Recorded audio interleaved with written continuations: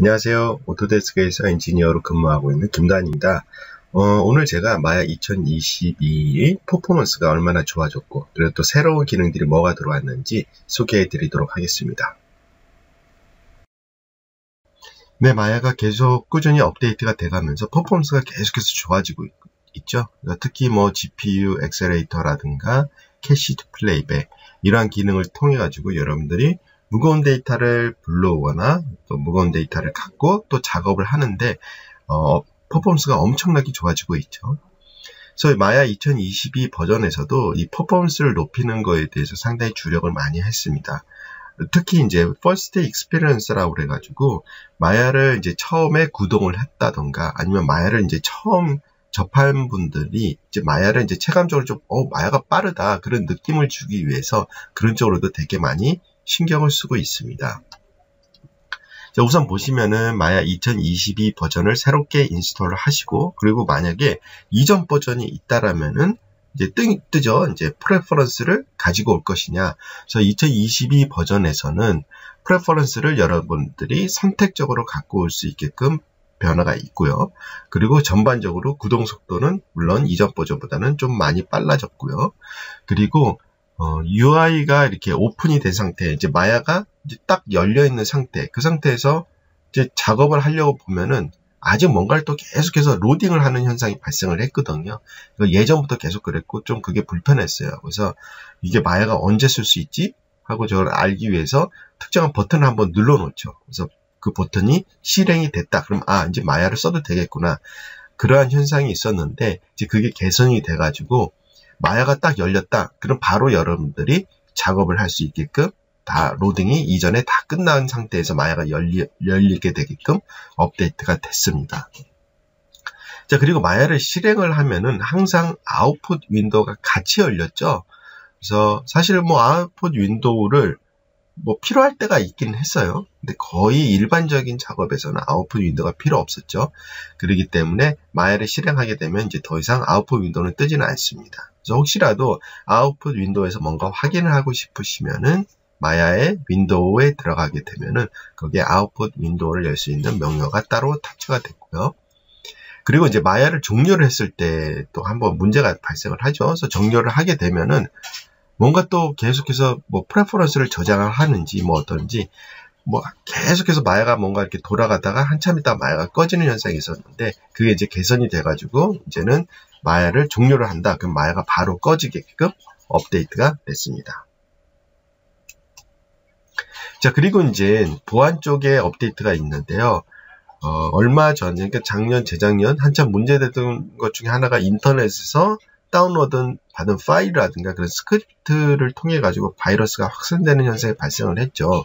그렇기 때문에 항상 검증되지 않는 이런 파일이라든가 스크립트는 여러분들이 되도록이면 사용 안 하시는 게 되게 좋거든요. 그래서 이런 것들을 막기 위해서 그 Autodesk app.com에 들어가셔서 보시면은 이제 security tool이라는 걸 따로 제공을 했죠. 그래서 마야 2022 버전에서는 어, security 항목이 preference에 새롭게 추가가 됐어요. 그래서 여러분들이 파일을 로딩을 할때 어, 이런 검증되지 않는 스크립트라든가 plugin들을 아예 불러오지 않게끔 사전에 차단하는 기능이 들어왔습니다. 그래서 이거를 꼭 확인해 주시면 좋을 것 같고요. 또 하나는 이제 Python 쪽입니다. 그래서 Python이 이전에는 이제 Python 2를 Maya에서 썼었거든요. 2022 버전에서는 Python 3가 사용할 수 있게끔 됐고요. 그래서 기본적으로 Maya를 구동을 하게 되면은 Python 3로 구동을 하거든요. 그래서 만약에 혹시라도 여러분들이 Python 2를 구동하고 싶다 그러면은 어, 환경 변수 값에서 버전만 바꿔주시고 Maya를 다시 재가동을 시키시면은 Python 2를 사용하실 수가 있습니다. 하지만 이제 Mac 버전, Maya Mac 버전 같은 경우는 Python 3만 사용할 수 있기 때문에 앞으로 여러분들이 plugin을 개발을 하실 때에는 Python 3로 계속해서 개발해 주시면 좋을 것 같습니다. 자, 그럼 이번에는 파이프라인과 협업에 어떤 새로운 것들이 추가됐는지 한번 보도록 하겠습니다. 네. 많은 분들이 아마 기대했던 기능이라고 보는데요. 그래서 이번에 2022 버전에서는 USD 기능이 새롭게 탑재가 됐습니다. 그래서 현재 USD는 이제 2022 버전부터 쓸 수가 있다라고 보시면 되고요. 그래서 혹시 USD를 잘 모르시는 분들 위해서 간략하게 설명해 드리면은 USD는 이제 Universal Scene Description이라고 하는데요. 어, 간단히 보면은 씬을 공유할 수 있는 하나의 파일 포맷 형태라고 보시면 됩니다. USD가 갖고 있는 장점들이 되게 많은데 제가 간략히 몇 가지만 추려봤는데요. USD는 데이터 자체가 되게 가볍게 연동이 됩니다. 그렇기 때문에 여러분들이 무거운 데이터들을 불러온다든가 아니면 무거운 데이터가 있는 상태에서 뭔가 재생을 한다든가 할 때 상당히 높은 퍼포먼스를 보여준다고 볼 수가 있고요. 그리고 USD를 통해 가지고 scene을 이제 만들어낼 수가 있는데 또 그 scene에서 뭔가 수정을 했을 때 그런 편집에 관련된 것은 전부 다 비파괴적으로 어, 진행이 됩니다. 그렇기 때문에 여러분들이 다른 부서와 협업을 할 때, 그럴 때 이 USD 편집을 통해 가지고 scene을 공유를 하게 되면 상당히 효율적으로 작업을 하실 수가 있고요. 그리고 USD가 지원이 되는 모든 제품들에서 동일하게 데이터들을 어, 주고받을 수가 있다라는 장점을 또 가지고 있죠. 아마 이 도표 같은 경우는 제가 이제 작년에 마야의 퍼포먼스를 보여드리면서 보여드렸던 제, 어, 도표인데요. 다시 한번 설명해 드리면은, 어, 이제 대단히 작업을 하면서 이런 시스템적으로 느려지는 것들을 많이 방지하기 위해서 Autodesk Maya 팀에서 상당히 많이 노력을 하고 있습니다. 바와 마찬가지로 똑같은 데이터 한 3기가 되는 데이터들을 각각 버전에서 load를 했을 때 얼마나 빨리 Maya가 열리는지 테스트한 도표라고 보시면 되고요. 그래서 보면은 2017 이전 버전 같은 경우는 진짜 뭐 3기가 같은 데이터는 여는데 시간도 되게 오래, 걸렸죠. 그래서 지속적으로 업데이트를 통해 가지고 퍼포먼스가 뭐, 뭐 100배 정도 빨라진 거, 뭐 어쩐 거는 막 1000배 정도 빨라지는 그런 기능들도 많이 개선이 됐죠. 그래서 드디어 이제 마야 2022 버전에서는 USD를 통해 가지고 이런 무거운 데이터들을 이제 거의 몇 초 만에 물론 컴퓨터 사양마다 조금 다를 수도 있겠지만은 몇 초 만에 불러오는 그런 퍼포먼스를 보여준다고 보시면 됩니다. 네, 그렇다면 USD를 어떻게 활용할 수 있는지 간단히 보시면은 그냥 Maya에서 여러분들이 마야 파일을 가지고 세트를 만들게 되겠죠. 네, 그 asset들을 USD 파일 포맷으로 export를 해서 그 asset들을 라이브러리를 구축을 합니다.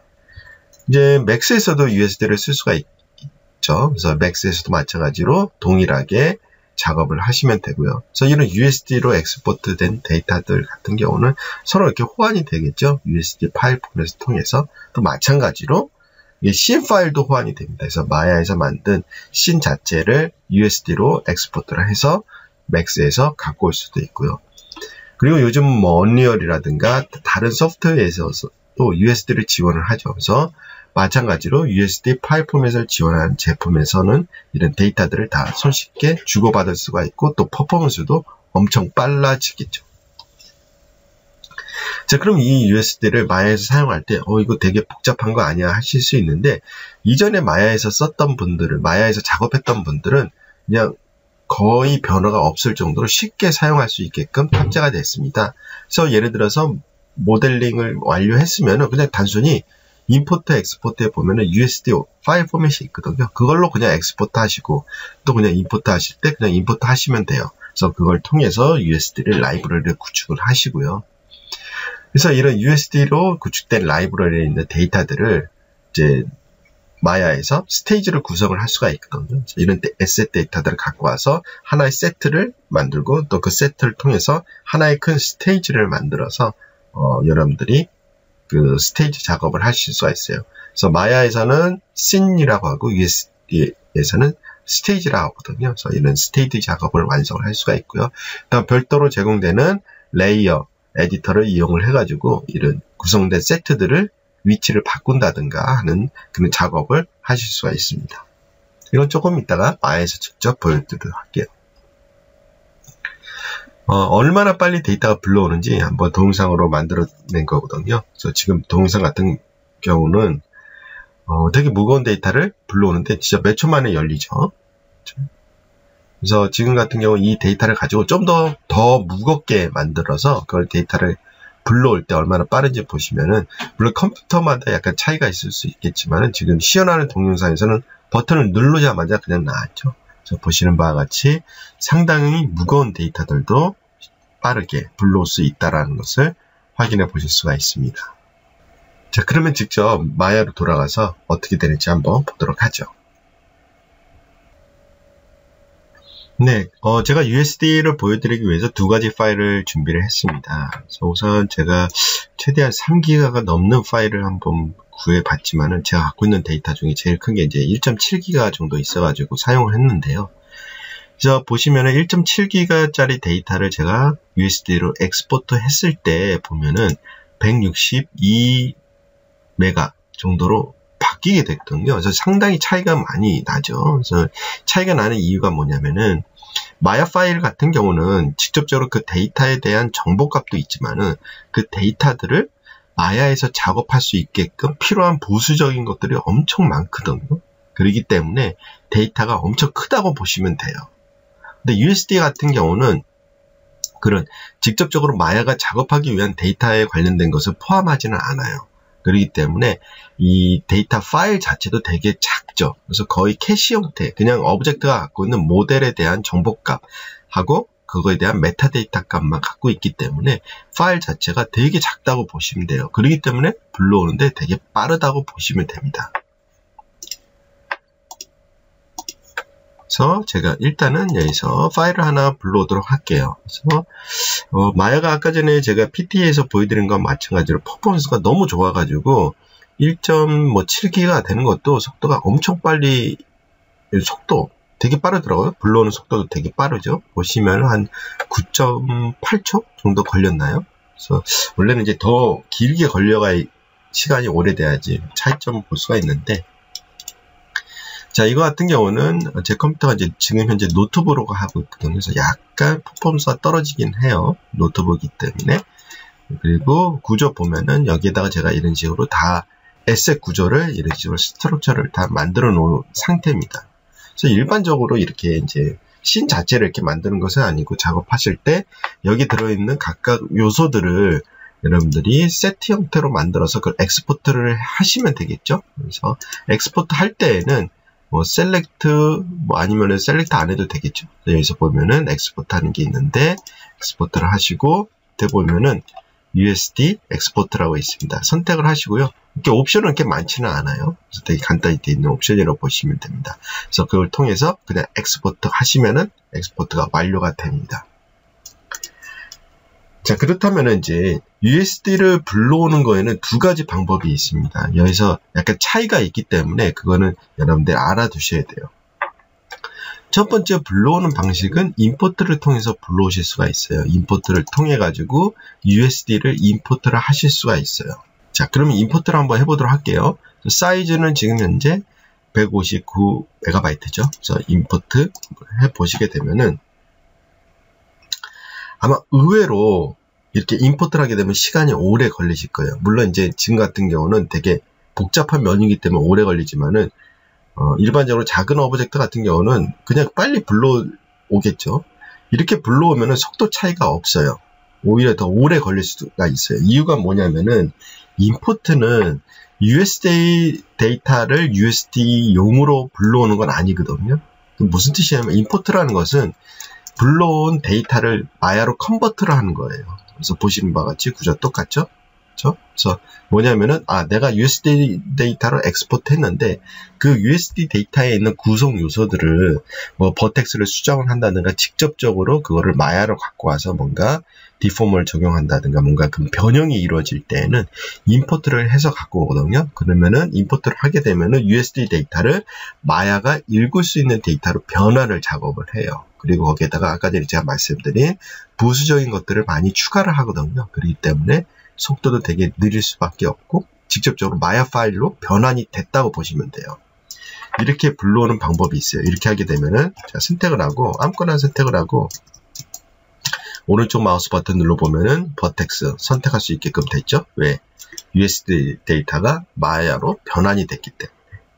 자, 그러면 이제 USD 데이터를 USD 자체적으로 쓰고 싶을 경우가 있잖아요. 그렇죠?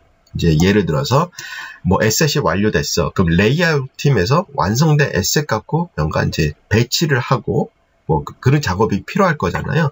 그럴 경우에는 USD를 import 하는 게 아니라 create 가게 되면은 Universal Scene Description이라는 게 따로 있어요. 여기에서 이제 만들게 되는데 두 가지가 있죠. 아예 아무것도 없는 상태 아니면은 이미 USD 데이터를 불러오는 방식이 있거든요. 그래서 예를 들어서 파일로 제가 한번 불러와 볼게요. 이 상태에서 아까 전에 불러왔던 파일 불러오게 되면은 바로 불러와지죠. 엄청 빨리 불러와지게 돼요. 그죠? 자, 보시면은 똑같아요. 생긴 거는. 똑같이 불러와졌죠. 그죠? 똑같이 불러와졌다고 보시면 돼요. 자, 차이점 뭐냐면은 아웃라인에 봤을 때는 다르죠. 아까 전에는 우리가 흔히 알고 있는 아웃라인에서 hierarchy 구조가 보이지만 지금 이제 보이지가 않아요. 그냥 USD에서 이걸로 보이게 되고요. 선택은 다 각각 따로 할 수가 있어요. 따로 한 상태에서 한번 오른쪽 마우스 버튼 눌러보시면은 업, 옵션이 없죠. 그렇죠? 왜냐? 얘는 지금 이제 마약, 마약 파일은 아니에요. USD 파일을 캐시 형태로 그냥 메타데이터만 불러온 거거든요. 그렇기 때문에 되게 빠를 수밖에 없는 거예요. 그래서 직접적으로 이런 vertex를 이용해서 modify 한다든가 그럴 때에는 마찬가지로 import해서 불러와서 편집을 한 다음에 USD로 export 하시면 되는 거예요. 자, 그럼 여기서 얘의 노드 구조를 내가 편집을 하고 싶을 때는 디스플레이 가서 shape node 가시게 되면은 아까 마야에서 봤던 그 노드 그대로 보실 수가 있어요. 근데 약간 아이콘들이 다르죠? 색깔이 파랗죠? 그래서 이게 직접적으로 마야 데이터인지 아니면 US 데이터를 구별하기 위해서 이런 식으로 파란색으로 트리 구조가 만들어진다고 보시면 돼요.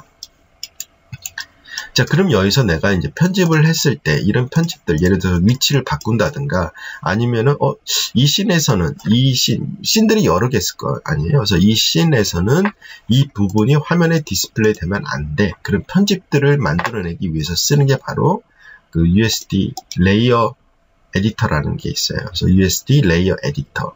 죠 그래서 아무거나 선택을 하고 오른쪽 마우스 버튼 눌러서 하시게 되면은 이런 layer 구조들을 볼 수가 있어요. 이 layer는 뭐냐면은 그런 수정 사항들을 만들어내는 거예요. 예를 들어서 어, 여기 USD 내가 샷을 하나 만들어서 여기 씬 뭐 예를 들어서 씬 1이라고 쓸게요. 아니 샷이라고 하는 게 낫겠네요. 이거 같은 경우 이제 회사마다 뭐 다 다르겠죠. 샷 001. 그죠? save를 하고 그다음 샷 001에서는 예를 들어서 자, 이 부분에서 내가 작업하는 layer 선택을 하고 여기에서 어, 화면에 안 나오게 한다. 그래서 그냥 delete 키를 눌러 주시면 돼요. 그러면은 delete 키를 눌렀다고 해서 이게 없어지냐? 그게 아니고 여기서 보시면은 오른쪽 마우스 버튼 눌러서 보시면은 deactivate라는 게 있어요. 이게 딜리트를 누르면 되는 거거든요. 이렇게 하게 되면은 이 레이어에서는 이게 안 나오게끔 이렇게 편집이 되면 보시면 돼요. 여기 봤을 때 활성했을 때 비활성됐을 때 그렇죠? 그렇게 해서 저장을 하게 되면은 예를 들어서 샷 1번을 작업하시는 분한테 이게 방영이 되죠. 그래서 이걸 보시고 아, 샷 1번에서는 얘가 없어야 되는구나. 그렇죠? 그걸 알 수가 있는 거예요. 그래서 왼쪽 아웃라인에서는 USD의 구조를 볼 수가 있고 그 다음 USD layer editor를 통해 가지고 이렇게 세트장을 여러분들이 편집을 하는 거예요. 편집이라는 것은 뭐 vertex를 이용을 한다든가 뭐 그게 아니고 뭐 object의 위치를 바꾼다든가 씬에 따라서 어, 이 object는 있어야 돼 없어야 돼 그런 것들을 여기서 edit하는 것이라고 보시면 됩니다. 사용하는 방법은 되게 간단하죠. 그리고 여기에서 내가 어떠한 특정 object를 어, scene에 불러오고 싶어. 그럴 경우가 있잖아요. scene을 배치를 한다든가 할 때에는 여기서 작업을 하실 수가 있습니다. 그래서 내가 원하는 데서 오른쪽 마우스 버튼 눌러서 보면 첫 번째 prim, primitive라고 해서 그거를 등록을 해야 되거든요. 그래서 primitive에서 Xform.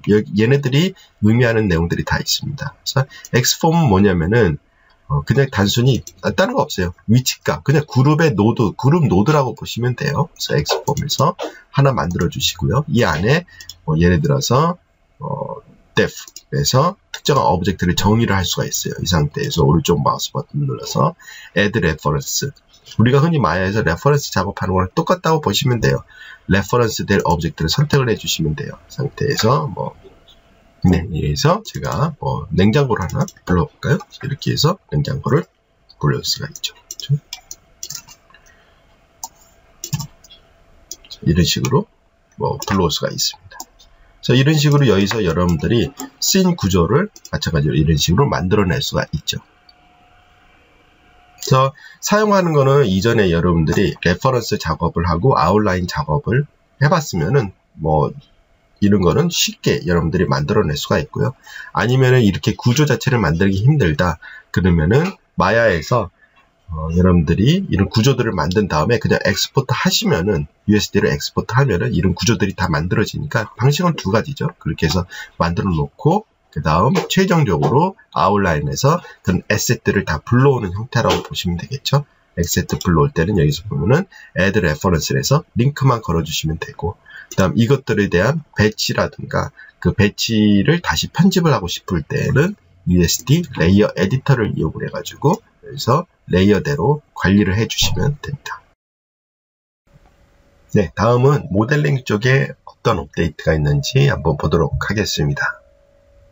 Heads Up Display에 game vertex count라는 기능이 새롭게 업데이트가 됐는데요. 네, 이 기능을 통해서 마야에서 보이는 vertex 수와 그리고 또 게임 엔진에서의 vertex 수가 어떤 차이가 있는지를 확인해 볼 수 있는 기능이라고 보시면 됩니다. 네, 모델링 할 때의 퍼포먼스인데요. 이렇게 무거운 데이터를 가지고 와서 lasso를 통해서 polygon들을 선택을 할 때 얼마나 속도가 차이가 나는지를 보실 수가 있는데요. 2022 버전과 2020 버전 차이를 보시면은 상당히 많이 차이가 난다를 보실 수가 있죠. 자, 그리고 뭐 간단한 업데이트 중에 하나가 바로 extrude인데요. 그래서 extrude에 할 때 특히 이제 thickness라는 옵션이 있는데 그거를 쓸 때마다 이렇게 면들이 터지는 현상을 볼 수가 있었거든요. 그래서 그게 이제 드디어 2020 버전에서는 2022 버전에서는 이게 개선이 됐습니다. 자, 그리고 재미난 기능이 또 하나 탑재가 됐는데요. sweep mesh라고 해서 이런 파이프 형태라든가 아니면 벽과 천장 그 사이에 있는 그 몰딩이라고 하나요?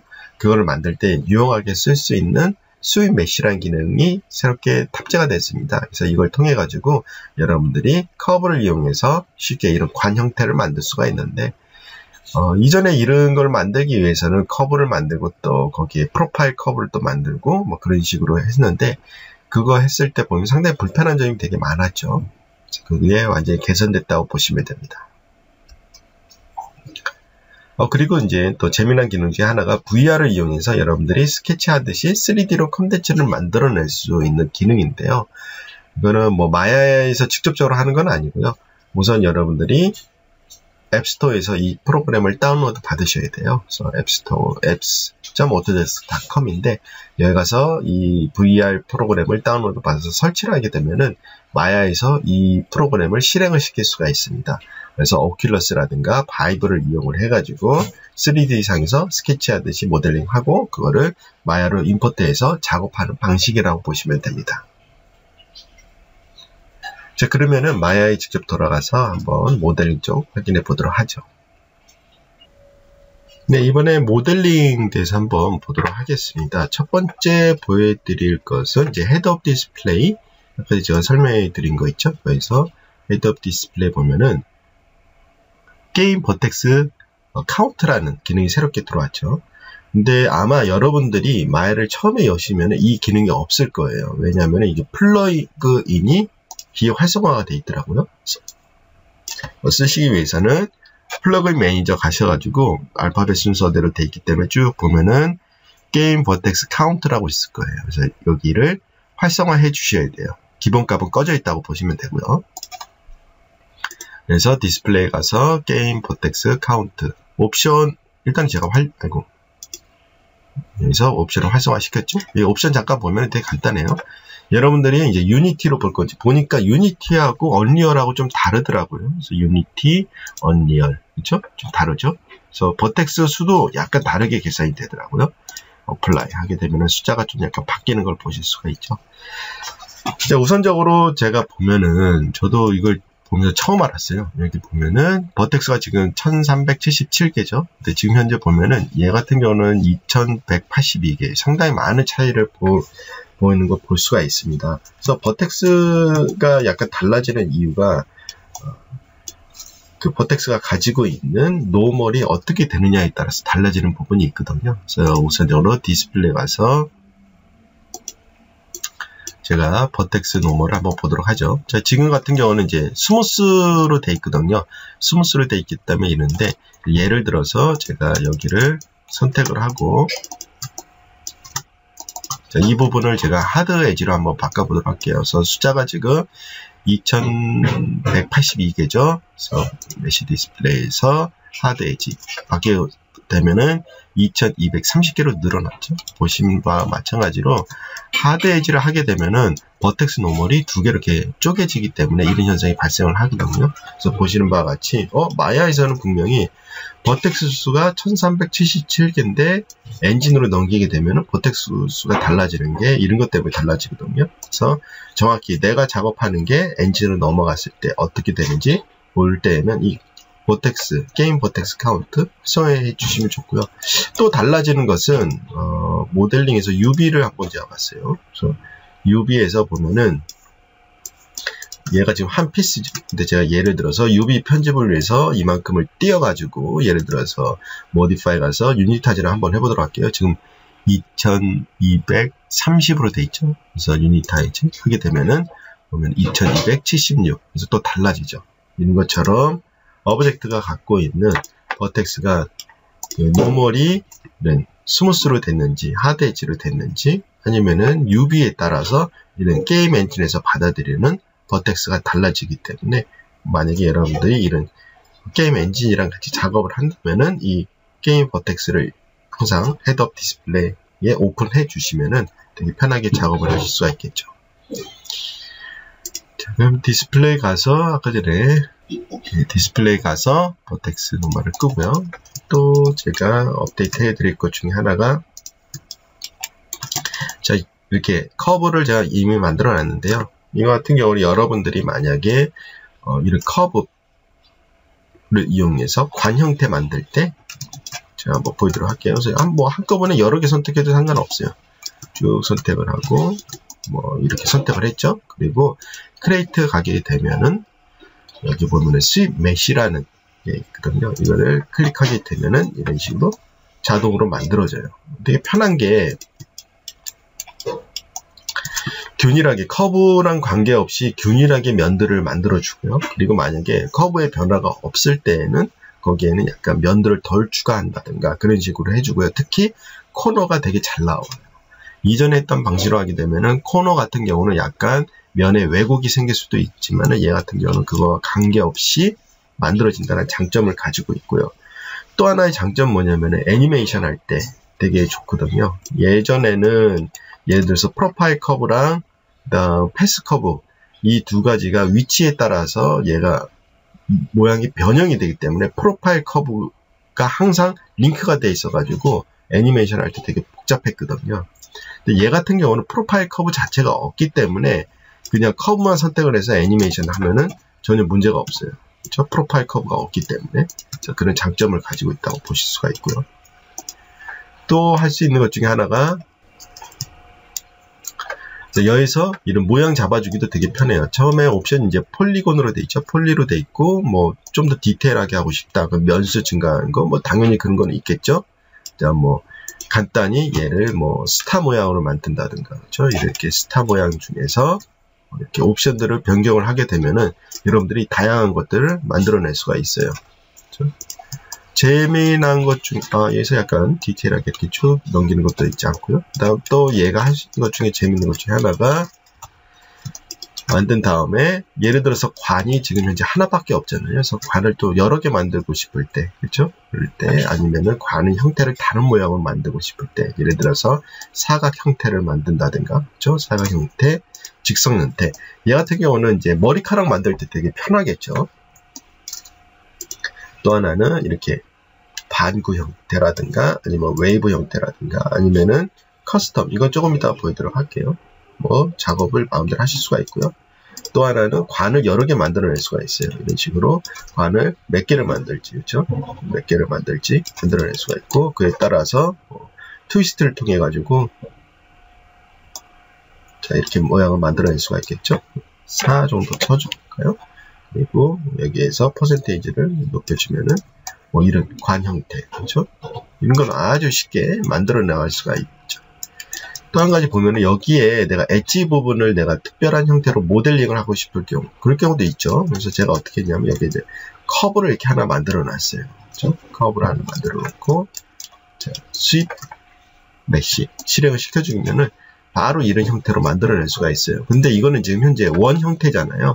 제가 여기다 이렇게 뭔가 이런 모양의 형태를 만들고 싶다. 그럴 경우가 있을 거 아니에요. 그렇죠?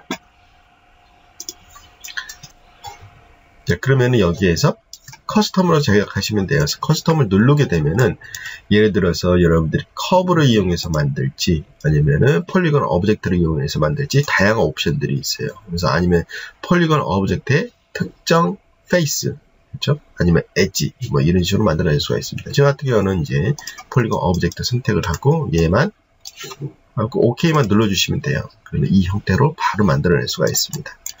근데 여기서 이제 뭐 그런 것도 있겠죠. 얘가 위치 같은 경우는 커브를 기준으로 해서 이 object의 중심값으로 얘를 뽑아내기 때문에 내가 원하는 건 이 object의 끝에 맞춰주는 것도 중요하겠죠.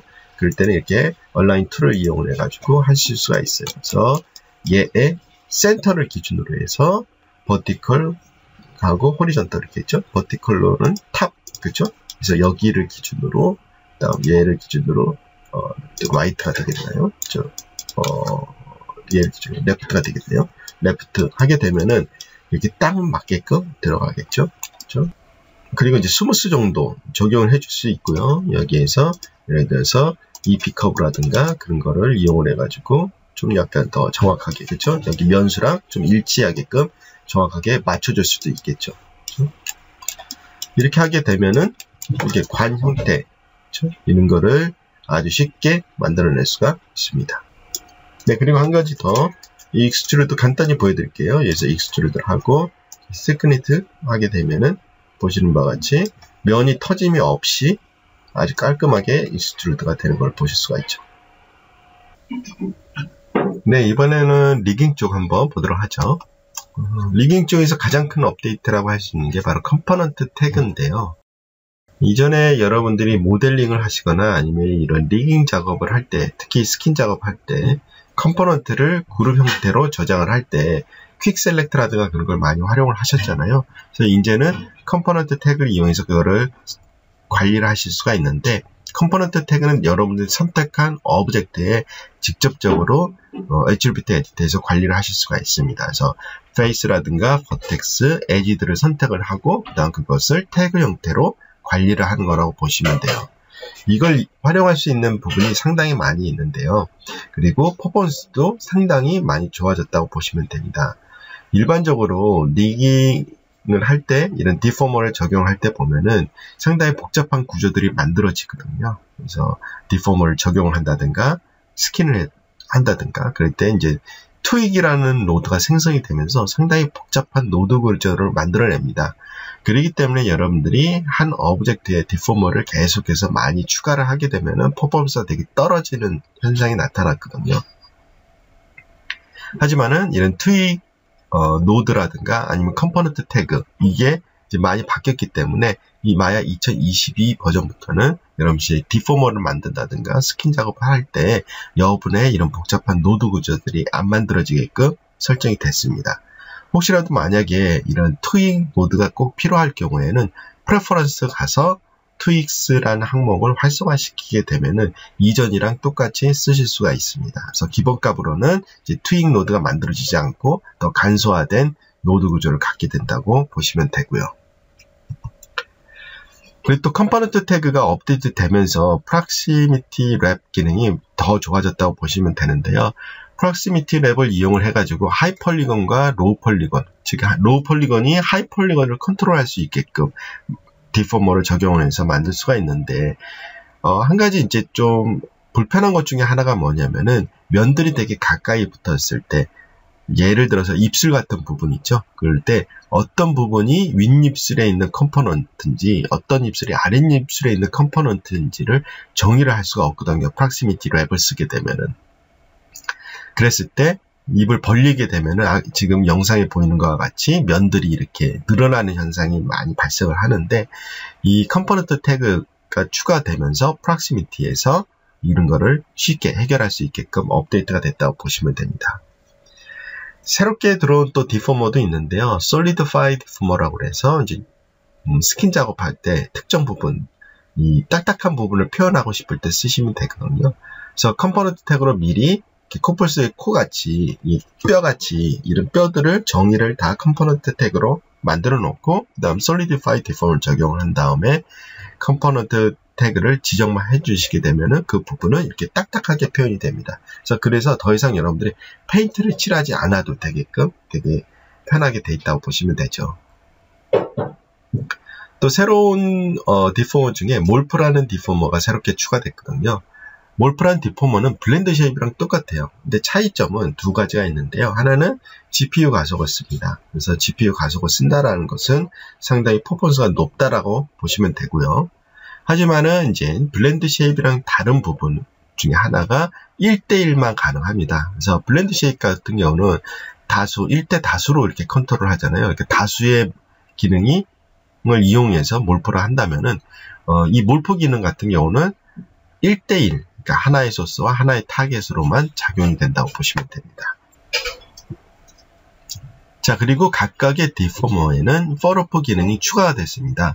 이전에는 deformer를 적용을 하고 falloff를 하려면은 paint brush로 막 칠한다든가 그런 걸 많이 썼는데 이제는 각각의 디포머에 펄어프 기능이 있기 때문에 펄어프 기능을 사용하게 되면은 비주얼적으로 펄어프가 어떻게 그 형태를 만들어낼 수가 있고 그 펄어프의 위치에 따라서 디포머가 영향을 받는지 안 받는지 그다음 이런 디포머와 디포머 사이에 힘 조절을 이런 펄어프를 통해서 여러분들이 직접 컨트롤할 수 있기 때문에 되게 편하게 쓸 수 있는 길이라고 보실 수가 있죠. 네, 그럼 마야로 가서 한번 보도록 하겠습니다. 네, 한번 rigging 쪽 보도록 할게요. 우선 이 캐릭터 같은 경우는 제가 이제 대충 뭐 스킨 작업이라든가 뼈 작업을 좀 해놨거든요. 어, 제가 얘를 선택하고 움직여 보면은 보시는 바와 같이 side view에서 봐야지 좀 차이가 많이 날까요? 상태에서 움직이면은 이 뿔 같은 경우는 이렇게 약간 늘어나는 현상이 나타나겠죠. 그냥 바인딩을 그냥 하게 되면. 그래서 이거 같은 경우 여러분들 브러쉬로 뭐 일일이 브러쉬 작업을 해도 상관은 없겠지만은 예를 들어서 이런 뿔, 지금 같은 경우 얘는 이렇게 뿔이 그렇게 많지가 않기 때문에 그렇게 그렇게 어려움은 없을 것 같은데 만약에 이제 뿔이 여러 개 있다라고 가정을 하게 되면은 이런 작업도 좀 일일이 브러쉬를 칠하는 것은 좀 까다로운 작업 중에 하나죠. 자, component tag를 하는 것은 object 선택한 상태에서 attribute 가시게 되면은 밑에 여기 shape node예요. 밑에서 component tag라는 곳이 있습니다. 여기서 이제 만들어낼 수가 있거든요. 하는 방법은 vertex, face, edge 다 상관이 없습니다. 선택하고 이게 플러스 마크 해주고 여기다가 이름만 적어주시면 돼요. 이름만 정확히 적어주시면 돼요. 이렇게 하면은 바로 그냥 만들어지는 겁니다. 그래서 좋은 게 어, 내가 예를 들어서 볼을 선택하고 싶어. 그럼 여기서 이 타입 있죠? 이 아이콘들이 면이냐 버텍스냐에 따라서 다 다르거든요. 선택하면은 이런 식으로 내가 선택했던 부분이 다시 선택이 되죠. 아니면은 이런 식으로 그렇죠? 제가 여기만 따로 집어넣거든요. 이런 식으로 관리를 하실 수가 있어요. 또 만약에 뭐 여기서 더 추가를 하고 싶다. 그렇죠? 그럼 이 상태에서 예를 들어서 뭐 이 부분을 선택을 하고 여기서 오른쪽 마우스 버튼 눌러서 component에 보면은 add가 있거든요. 그래서 add. 그래서 더 추가만 해주시면 돼요. 이렇게 해서 하게 되면은 딱 빠르게 이렇게 작업을 하실 수가 있죠. 이제 deformer에서 이제 적용하는 방식은 예를 들어서 요번에 새롭게 들어온 solidify 있죠? solidify를 적용을 해볼게요. 그래서 solidify를 적용을 했습니다. 지금 현재 자, 이 상태에서 움직여 보면은 아직 이런 식으로 늘어나는 걸 볼 수가 있죠. 그래서 여기 보면은 solidify 각각 deformer에 보면은 deformer attribute라는 게 있어요. 여기 가시면은 여기 이제 solidify에 대한 옵션이고 attribute에 가게 되면은 input attribute에 보면은 이런 태그에 관련된 게 있거든요. 그래서 여기 태그 관련돼서 이게 다 이제 deformer에 장착이 됐다고 보시면 돼요. 그래서 component tag가 지금 현재 all이라고 되어 있는 것을 여기 가서 아까 전에 제가 nose라고 이름을 적어놨죠. 선택하고 그리고 엔터 그렇죠? 치게 되면은 이런 식으로 바로 수정이 되죠. 그렇죠? 그래서 만약에 다른 object에도 이런 식으로 다 적용할 수가 있고? 쉽게 이런 거를 적용을 해서 보실 수가 있습니다. 자, 그 다음 또 morph deformer에 대해서 한번 보도록 할까요? 어, 조인트는 안 보이는 게 좋을 것 같고요. 그쵸? 자, 그리고 제가 간단히 애니메이션 해놨어요. 이렇게 기린이 뭐, 이, 뭘 먹는 건데, 지금 같은 경우 이제 입술을 이렇게 하고 먹는 거죠. 또 하나는 이런 애니메이션 하나 만들어 놨어요. 그쵸? 입술을 붙이고 이렇게 오물오물 거리는 거, 이 두 가지가 있습니다. 그래서 이거 같은 경우 이제 morph를 이용해서 컨트롤러를 제가 한번 달아볼게요. 그래서 지금 현재 보면은 그쵸? 여기 있고 예, 입 벌리는 얘가 있겠죠? 이런 식으로 그쵸? 이 상태에서 디포머에서 몰프 기능을 적어줍니다. 그쵸? 그리고 얘는 꺼둘게요. 그쵸? 그래서 플레이를 해보면은 일단은 이렇게 입을 담은 채 오물거리는 게 만들어졌고요. 다음 몰프에서 0값이 들어간다. 그러면은 뭐 이렇게 되는 거. 그렇죠? 뭐 이거는 그게 어려운 거 없죠? morph는 그냥 1대 1이니까. 하지만 이제 디포머에 뭐가 들어가냐면은 여기 보시면은 여기에 제가 morph deformer가 있죠? morph deformer에 보면은 마찬가지로 component tag가 들어가 있어요. 모든 deformer에는 이런 component tag가 들어가 있다고 그랬잖아요. 여기에 보시면 falloff 기능이라는 게 있어요. 그래서 falloff 기능을 만들 때 오른쪽 마우스 버튼 눌러서 어떤 fall, 이 falloff 종류가 많이 있거든요. 그래서 뭐 간단히 primitive falloff를 만들어 보도록 할게요. primitive falloff를 만들어 보면은 자 이런 식으로 뭔가 어떠한 형태가 나타나요. 그래서 지금 같은 경우는 입을 벌리고 있죠. 얘 위치에 따라서 그렇죠? 이 상태에서 내가 이제 좀 더 크기를 키워볼게요. 키우고 얘가 지금 뭐 0이 돼 있네요. 그렇죠? 닫고 그렇죠? 플레이를 해보면은 입을 벌리고 있죠? 얘 위치에 따라서 자, 입을 자 이런 식으로 벌리는 애니메이션도 되죠. 그래서 falloff도 뭐 지금 현재 sphere지만은 이렇게 plane을 이용해서 할 수가 있어요. 그래서 plane의 위치에 따라서 그렇죠? 위치에 따라서 보시면은 위치에 따라서 입을 벌려야 되겠네요. 이 상태에서 위치에 따라서 입이 이렇게 달라지죠. 그죠? 아니면 지금 현재 컨트롤러를 차라리 이렇게 90도로 그렇죠? 만들어 놓은 상태에서 여기서 이제 점점 힘이 약해지는 거겠죠? 그렇죠? 여기서부터 힘이 약해지는 거라고 보시면. 그래서 이 falloff의 위치에 따라서 이렇게 애니메이션을 컨트롤 할 수가 있겠죠. 그렇죠?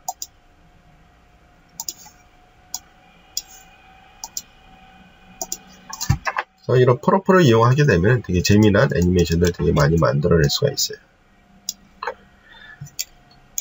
또 한 가지 또 어, cluster를 이용해서 한번 해보도록 할까요? 마찬가지로 이렇게 선택을 해서 얘가 코가 지금 너무 딱딱하게 움직이는 것 같아요. 그래서 코를 좀 더 변형을 주기 위해서 object 선택하고 클러스터. 그냥 이전에는 vertex를 선택하고 넣었다라면은 지금 이제 vertex 선택 없이 cluster를 집어넣게 되는 거죠. 그렇죠? 그렇죠? 근데 이제 cluster에서 내가 코만 하고 싶어. 그럼 마찬가지로 클러스터 제가 선택을 했죠. 여기 보면은 deformer attribute에 또 마찬가지로 있죠. 이 상태에서 아까 전에 nose라고 그렇죠? 해놓죠. nose 선택을 하고 하게 되면은 nose가 이렇게 되죠. 그렇죠? 예, 여기 있으면 좋을 것 같네요. 그렇죠? 노즈가 이렇게 되는 걸 볼 수가 있어요. 마찬가지로 여기서 보면은 어, 그냥 적용하게 되면은 이게 펄어프가 여기 적용이 안 돼 있죠. 그렇죠? 마찬가지로 여기에다가 사인해서 펄어프를 집어넣을 수가 있겠죠. 그래서 펄어스의 위치에 따라서 이런 효과가 나타나겠죠. 그렇죠? 다음 여기에다가 그냥 패런트를 시켜버리고 그렇죠? 다음 클러스터를 이용을 하게 되면은 클러스터의 위치에 따라서 이런 효과가 나타날 수가 있겠죠. 그래서 중간에 하다가 어? 얘 말고 여기도 클러스터가 작동을 해야 돼. 그럴 경우도 있을 거 아니에요. 그럴 경우에는 여기에다가 간단해요. 플러스 하시면 돼요. 만약에 빼고 싶다. 그럼 마이너스 하시면 되고요. 여기서 불러오는 거죠. 두 개 조합을 하는 거죠. 그럼 cluster가 쭉 여기에서 여기에 가게 되면은 자 이런 식으로 작동을 하죠. 그렇죠? 아니면 얘를 좀 더 키워볼까요? 여기까지 이렇게 키울 수가 있겠죠. 그렇죠? 보면은 그렇죠? 다 작동을 하죠. 이런 것처럼 deformer에서 여러분들이 이 com, component tag를 조합을 해서 다양한 애니메이션들을 만들어낼 수가 있어요.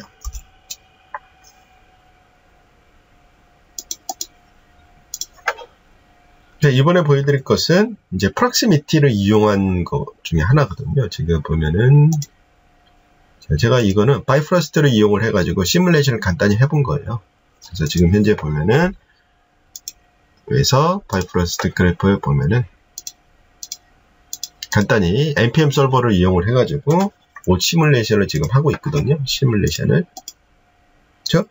그다음 이게 low polygon이고요. 그래서 이제 high polygon을 이제 여기에다가 제가 이제 같이 Proximity Wrap을 이용해서 high polygon이랑 low polygon이랑 연결을 해보도록 할게요. 그래서 deformer 가서 Proximity Wrap 적용을 해줍니다. 아무것도 선택이 안 돼 있는 상태에서 edit 창에 가서 하나의 새로운 뮤를 만들어냈고요. 선택을 하고 여기서 low polygon이 이제 드라이버가 되겠죠. low polygon 선택하고 high polygon 드라이버 선택하고 자 플레이하게 되면은 자, 이런 식으로 Proximity Wrap이 적용이 돼가지고 high, low polygon이 high polygon을 컨트롤하게 되죠. 자 보시면 이제 어, 입술도 그렇고 proximity를 이용해서 이런 걸 할 때 보면 입술도 그렇고 이 옷 자켓도 그렇고 이렇게 여기가 보면은 어, 이 vertex가 왼쪽에 있는 건지 오른쪽에 있는 건지 마야는 모르죠. 그렇죠? 그래서 이런 것 같은 경우는 해결하기가 되게 간단해요.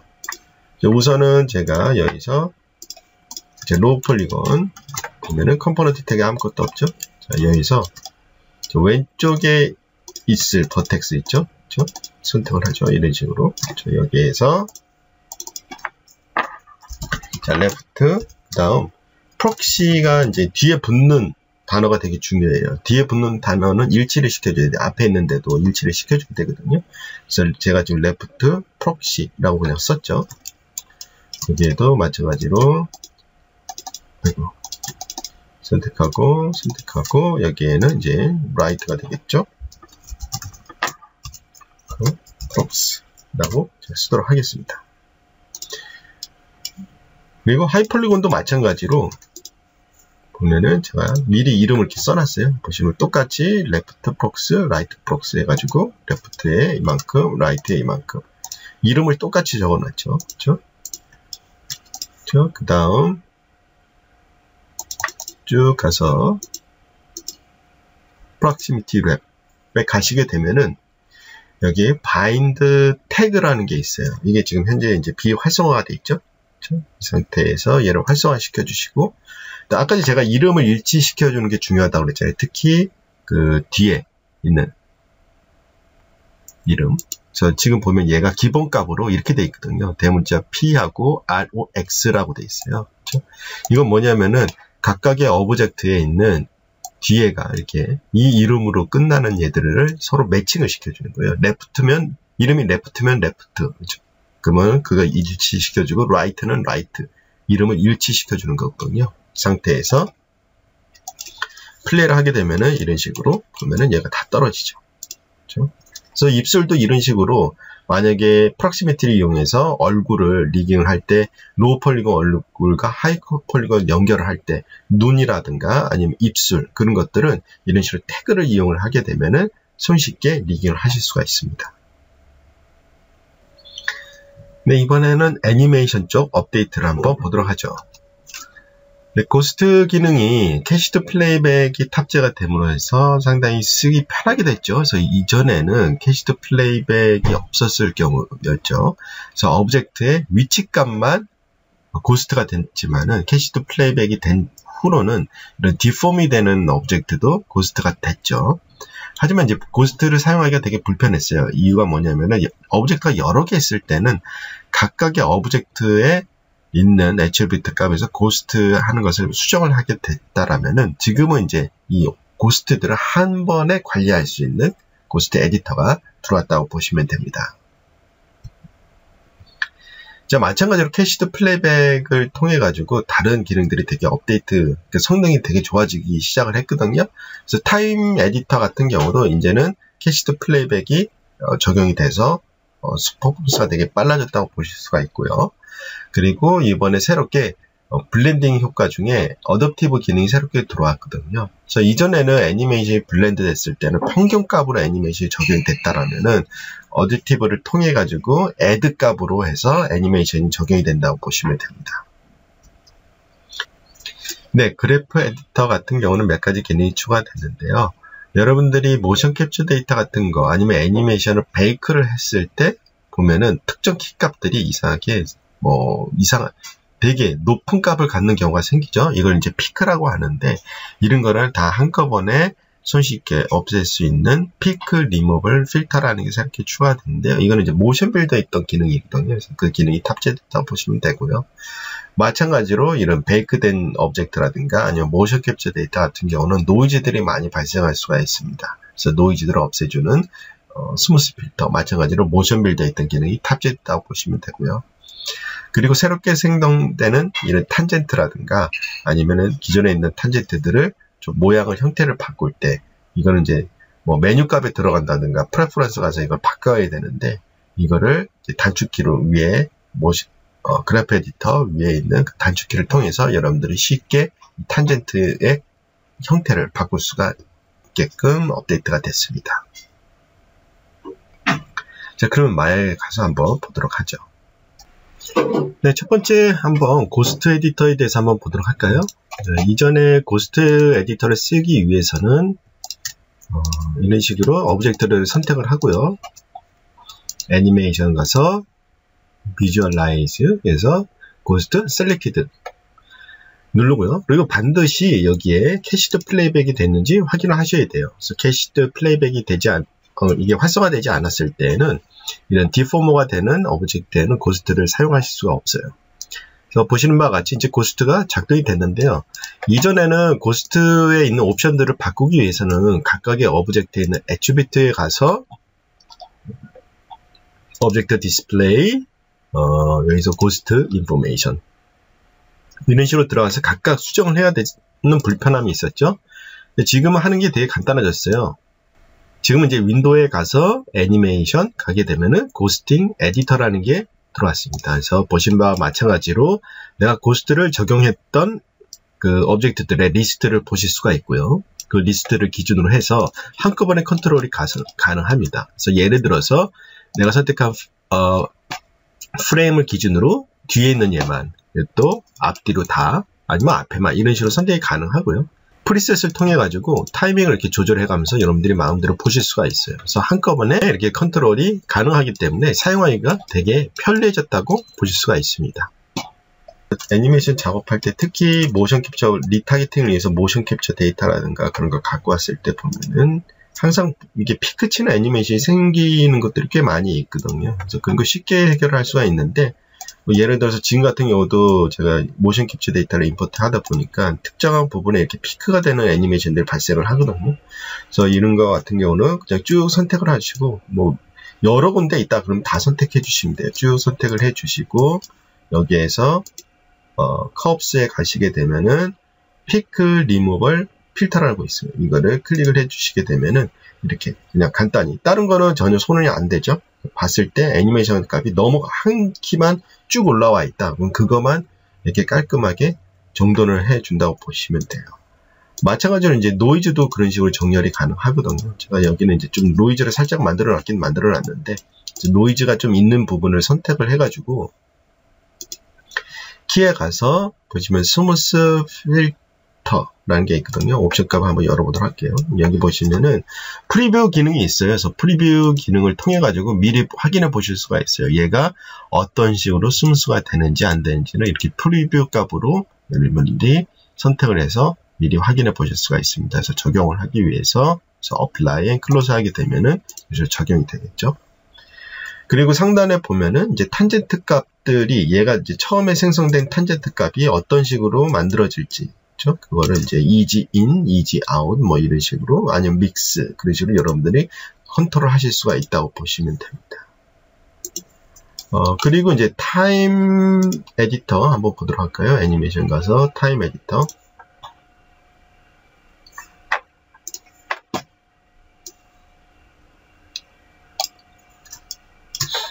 네, 지금 같은 경우 애니메이션이 이렇게 어, 보시면은 동작이 자 이렇게 얘가 공중에서 한 바퀴 돌고 내려치는 동작으로 돼 있죠. 그렇죠? 이거를 이제 time editor에서 보실 때 보면은 지금 현재 제가 cached playback을 이용해서 보시면은 자 여기서는 cached playback이 되죠. 그렇죠? 그래서 time editor 같은 경우 이전에 쓰게 되면은 cached playback이 안 됐거든요. 지금은 이제 그 cached playback이 돼요. 그래서 애니메이션을 제가 한번 여기서 등록을 해보도록 할게요. 자 애니메이션을 등록을 하면은 보시는 바와 같이 그전에는 이제 여기가 노란색으로 변했는데 지금은 이제 time editor에서도 이런 식으로 cached playback을 볼 수가 있어요. 뭐 예를 들어서 이제 애니메이션을 제가 한번 편집을 해볼게요. 얘를 예를 들어서 attack 그렇죠? 클립을 하나 만들고요. 그렇죠? 다음 얘를 비활성화 시켜주고 자, 이번에는 얘를 막 손을 흔드는 걸 한번 애니메이션을 제가 적용을 해볼게요. 이렇게 있다가 캐릭터가 우 하고 이렇게 손을 흔드는 애니메이션이죠. 자, 이거를 여기에서 배그에서 마찬가지로 모션 캡처 데이터를 적용을 한다고 보시면 되겠죠. 이 상태에서 뭐 컨트롤러 아무거나 선택을 하고 제가 이제 새로운 layer에다가 만들어 보도록 할게요. 활성화시키고요. 새로운 layer에다가 이제 제가 만들었습니다. 지금 보면은 얘가 어떻게 되고 그렇죠? 얘를 이제 비활성화 시켜 보면은 얘는 이제 제자리에서 막 이렇게 움직이는 애니메이션이 되는 거죠. 그렇죠? 두 개를 이렇게 합해 보면 어떤 현상이 일어나냐면은 애니메이션 두 개가 지금 현재 blend가 됐어요. 정확히 blend가 됐기 때문에 플레이를 해보면은 얘가 소심하게 이렇게 애니메이션 하죠. 왜냐하면은 얘가 갖고 있는 애니메이션, 그렇죠? 애니메이션 하나와 애니메이션 하나에 그거는 평균 값을 내버리기 때문에 문제는 액션이 내가 원하는 대로 되지가 않았어요. 그렇죠? 이렇게 쓸 수 있는 게 뭐가 있냐면 오른쪽 마우스 버튼 누르 blend mode가 지금 normal로 되어 있기 때문에 그냥 애니메이션을 mix를 해버리는 거예요. 그래서 additive는 뭐냐면은 거기다가 값을 덧대는 거예요. 그렇죠? 이미 있는 값에다가 애니메이션을 add. 그러니까 뭐 포토샵에서 할 때 보면은 multiply하고 add 그 차이라고 보시면 돼요. 그래서 add를 하게 되면은 애니메이션이 제대로 되면서 막 이상 와 이렇게 하죠. 그렇죠? 제가 원하는 것은 얘가 착지를 한 다음에 막 팔을 흔드는 거거든요. 그러면 얘를 쭉 이렇게 해서 하게 되면은 이 상태에서 착지를 해서 와 이렇게 하죠. 그렇죠? 만약에 여기서 normal로 하게 되면은 모양이 어때요? 이 상태에서 그러니까 되게 소 되게 이렇게 보면은 소심하게 팔을 흔들게 되죠. 그렇죠? 왜냐하면은 blend multiply가 돼버리기 때문에 어, multiply는 아니죠 어떻게 보면은 그래서 add 하게 되면은 자, 이런 식으로 애니메이션을 additive처럼 만들어낼 수가 있습니다. 네, Bifrost Extension 업데이트입니다. Bifrost Extension 같은 경우는 마야 버전과는 별도로 계속해서 업데이트 되고 있거든요. 그래서 계속해서 여러분들이 업데이트에 관심을 가져주시고 그거를 확인해 주시면 좋을 것 같아요. 어, 그래서 잠깐 Bifrost 혹시 모르신 분들을 위해서 설명해 드리면은 Bifrost는 이제 procedural로 특히 노드로 이런 효과들을 만들어내는 기능 중에 하나죠. 그래서 Bifrost를 할 수 있는 게뭐 당연히 particle이라든가 불 연기, 볼륨 시스템 그리고 어, 이런 천 시뮬레이션 같은 거를 할 수가 있고요. 이거 이외에도 이런 선으로 이용하는 뭔가 효과라든가 그래서 이걸 이용을 해가지고 이런 니트를 직접적으로 만들어서 니트 옷을 만들어낼 수도 있고 니트 옷을 가지고 또 시뮬레이션 할 수도 있고요. 아니면 deformer 여러분들이 원하는 다른 형태의 deformer를 만들어낼 수가 있고 이런 OpenVDB를 가지고 와서 또 효과들을 만들어낼 수가 있고요. 그 다음 뭐 procedural이기 때문에 모델링에서 world building 같은 procedural world building 같은 것도 만들어낼 수가 있고요. 그리고 뭐 rigging 쪽이라든가 애니메이션, procedural rigging, 애니메이션 그런 것들을 만들어낼 수가 있다고 보시면 됩니다. 최근에 어, 상당히 많이 업데이트가 되고 있거든요. 특히 이제 뭐 다양한 필드 값이 새롭게 추가됐고요. 그다음 scatter pack이라고 해가지고 특정 지역에 랜덤하게 어떤 값들을 뿌려주는 기능이 추가됐습니다. 이걸 통해 가지고 여러분들이 아까 제가 설명해드린 procedural world building 그런 것들을 만들어낼 수가 있겠죠. 그리고 지속적으로 이런 여러분들이 사용하기 편하게 그 compound들이 계속 추가가 되고 있거든요. 그렇기 때문에 중요한 것은 여러분들이 계속해서 어, AREA 사이트에 가시게 되면은 어, Bifrost가 업데이트가 되고 있거든요. 그래서 그런 걸 최신 버전으로 지속적으로 업데이트 해주시면 좋을 것 같아요. 그래야지 버그도 수정되지만은 다양한 compound들을 여러분들이 사용할 수가 있거든요. 그래서 꾸준한 업데이트가 필요하다고 보시면 됩니다. 어, Bifrost 영상 관련해서 저희들이 계속해서 한글화 작업을 해가지고 그걸 업데이트하고 있거든요. 그래서 어, 유튜브 Autodesk Korea M&E란 채널에 들어가시게 되면은 Bifrost 뿐만 아니라 저희들이 가지고 있는 그런 제품들을 어떻게 활용을 하는지 그런 다양한 영상들이 올라와 있기 때문에 Bifrost Extension에 관련돼서 정보를 어, 받아보시려면은 꼭 이 유튜브 채널을 활용해 주시면 좋을 것 같습니다. 네, 제가 준비한 내용은 여기까지고요. 네, 다음 세션 또 진행하도록 하겠습니다.